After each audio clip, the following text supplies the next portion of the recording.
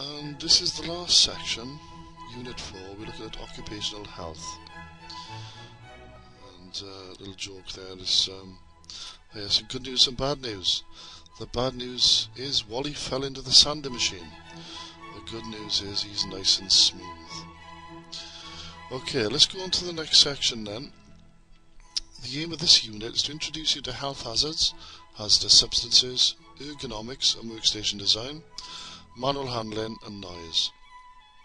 And by the end of this unit you should be able to name four types of health hazard, identify three hazardous substance signs, define the word ergonomics, give the four areas to be considered when making a manual handling risk assessment, and define noise. That first one, health hazards. Let's have a look at the four different types of health hazards. And they are physical, chemical, biological and ergonomics. Physical, a lot to do with the environmental factors such as temperature, noise, vibration, pressure, radiation and dust. If you work with chemicals such as organic or inorganic compounds, acid, alkalis, different metals. Biological, the living entities, the parasites, bacteria, prototis, protozoa, things like animal borne, zoonoses, are human borne, or vegetable borne. And ergonomics looks at job movements, friction and pressure.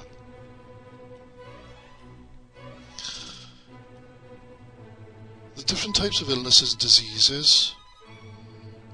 First of all, we could get back and upper limb disorders. WRULD stands for Work Related Upper Limb Disorder. That's anything from the waist up to the neck. So anything affecting your arms, anything affecting your wrists, your fingers, your shoulders, your neck, your spine, including your discs. Occupational deafness, stress and depression, dermatitis, occupational asthma, asbestosis, silicosis, the factors that affect occupational health include the environment, your workstations, that bubble, that place you inhabit when you're actually doing your job, and the working procedures that you adopt when you're undertaking your duties. Okay, COSHH by gosh, what does that stand for? It stands for the control of substances hazardous to health. Control of substances hazardous to health. So what is a hazardous substance? It's any material or substance with a potential to cause illness or injury to the people who come into contact with it. Now, they could come in the form of liquids or powders, fumes, solids, gases, vapours, dusts, or living organisms, where we'd be, or where we'd call them a biohazard. Now, for five bonus points, can you tell me what you think the difference is between a fume and a vapour? What is the difference between a fume and a vapour? And believe me, I've had some good answers to this over the past few years. Not all of them correct, but very good answers nonetheless. Okay, a vapour consists of liquid particles, such as steam or a solvent, and a fume consists of solid particles, such as welder's fume, for example, contains particles of lead. Now, hazardous substances may be toxic, irritant, explosive, reactive, allergens, corrosive, carcinogenic, inflammable, or disease agents. And we carry out a COSHH assessment of all hazardous substances. All hazardous substances must be, must be assessed for the prevention of exposure and for the protection of employees. Now, how do the substances get into the body? There are four routes of entry. What do you think they are? How do the substances get into the body? Well, they are ingestion through swallowing, injection, or cuts or injuries, inhalation, and absorption and the most common route of entry is inhalation.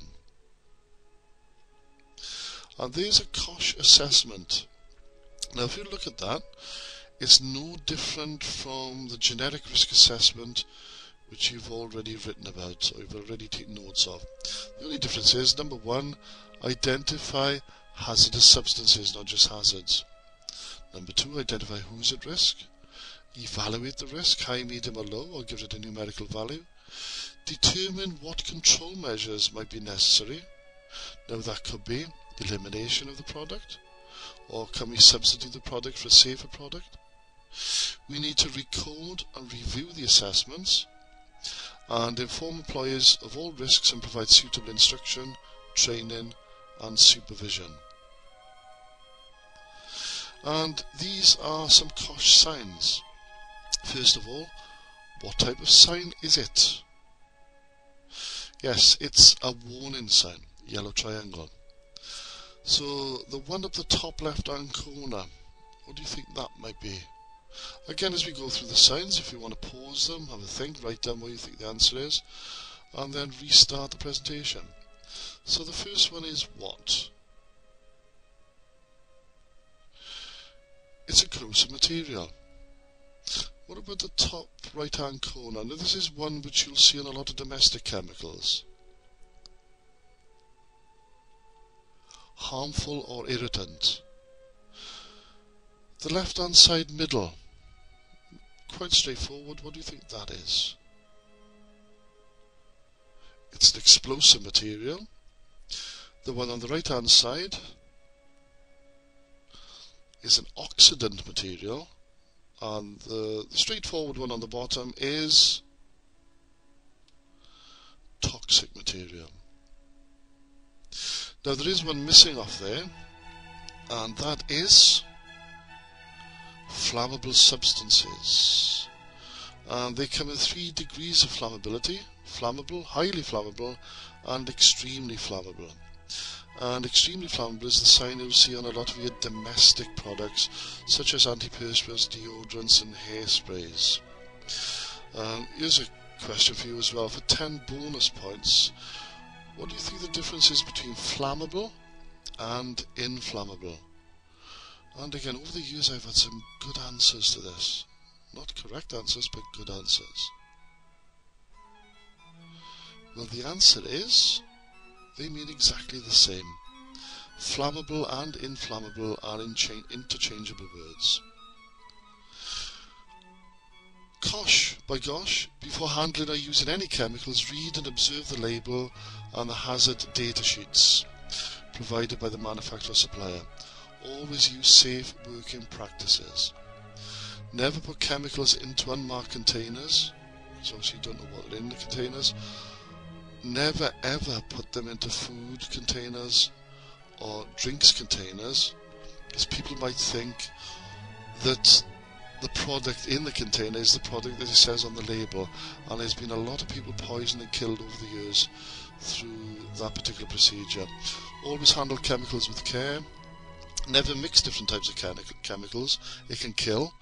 For example, if you mix bleach or sodium hypochlorite with an acidic cleaner or even urine, it will give off chlorine gas which can kill you in a confined space. Chlorine gas mixes with your saliva in your trachea and it uh, produces hydrochloric acid which can start to burn you apart. So be careful with bleach. Bleach is banned in most commercial establishments that I know, uh, especially catering establishments. Uh, it's banned within all local councils, local governments, uh, civil service. The, the major user or consumer of bleach these days is the domestic market. But in my own personal opinion, they should ban it. It's only my opinion, but it's true. Chemical store. Always ensure chemicals are safely locked away and not in areas where they might, for example, with food, uh, contaminate food or come into contact with customers who might uh, drink them thinking that they are drinks, for example, if they kept in drinks containers. Know the first aid treatment required if you spill chemicals on yourself or others. And report any faulty equipment, spillage or damaged containers to your supervisors. And these, this last point under the, the orange line there, please be careful where you tip your chemicals these days. it's not just appropriate to tip all your chemicals down the toilet or down outside drains because a lot of chemicals will react with the flora and fauna the environment and start to kill or have adverse effects on the environment. So just check the labels on the containers and it will tell you if they're biodegradable and you're allowed to tip them down sinks or sewers or toilets, then by all means you can, but please check the label first. Okay, ergonomics. What's ergonomics? Daddy, what's ergonomy? It's making children tall enough not to have dads bend so much. Yes, never a true word.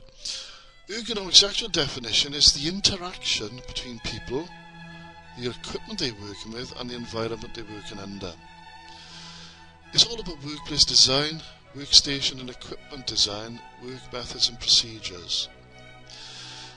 If a workstation is not ergonomically designed for the person that's using it, then that can give rise to work-related upper limb disorders. That can be because of you using repetition, using force, working at an awkward posture, or having insufficient rest periods. We can prevent that by equipment and job redesign, reduce repetition, force and stress, improve posture, provide and follow training, and improve the environment.